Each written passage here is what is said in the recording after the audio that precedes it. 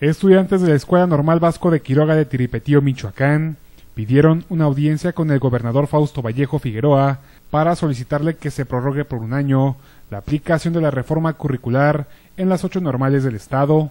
Ahorita lo que pedimos es a la audiencia con el Ejecutivo, porque por parte de la Secretaría de Educación y, Secretaría de Gobernación no se ha recibido una respuesta favorable.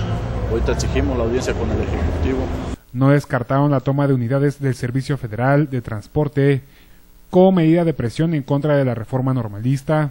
Hasta este momento son 43 unidades, pero la cifra podría incrementarse, dijeron.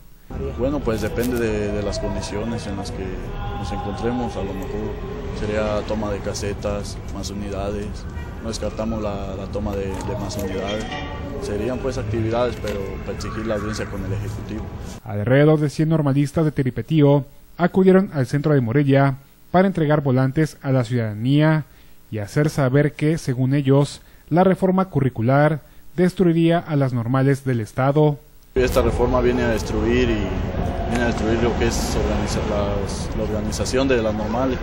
Esto con esta se empieza a dividir lo que es la, la misma normal son comienzos para comenzar a destruirlas, pues, más que nada.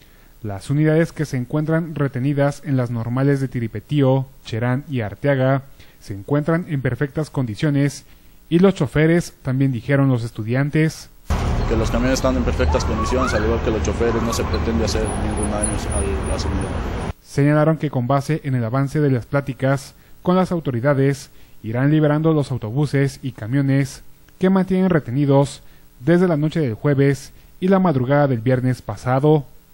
Con información de Miguel Ángel Sánchez informa Cuásar TV.